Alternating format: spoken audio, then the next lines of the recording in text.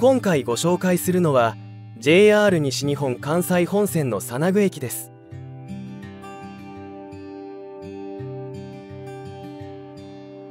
佐具駅は三重県伊賀市富山にあり1897年明治30年1月15日に関西鉄道の柘植駅上野駅間の開通時に開業しました。当駅は相対式ホーム2面2線を有する地上駅です。場内出発の各信号機とも一方向のみの設置のため逆線入線はできません。駅舎は鴨方面行きホーム側にあり亀山方面行きホームへは跨線橋で連絡しています。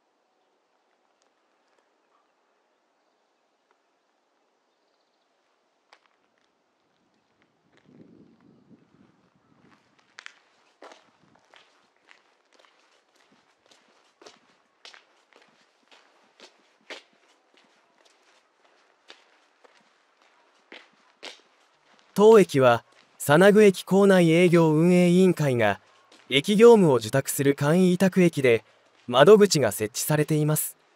当駅は1907年明治40年10月1日に国有化され帝国鉄道庁の駅となりました。1909年明治42年の線路名称制定により関西本線所属となりました。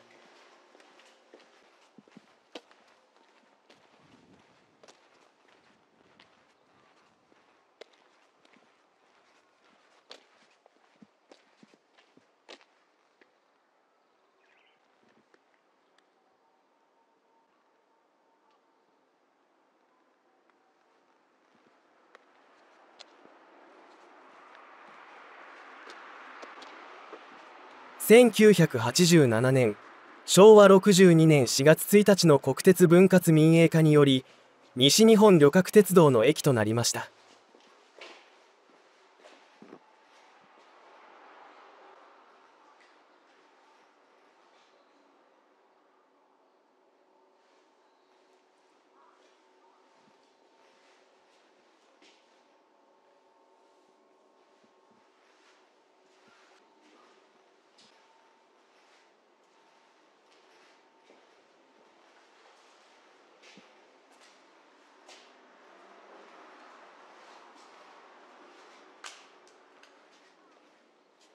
同21年7月1日に亀山鉄道部を廃止。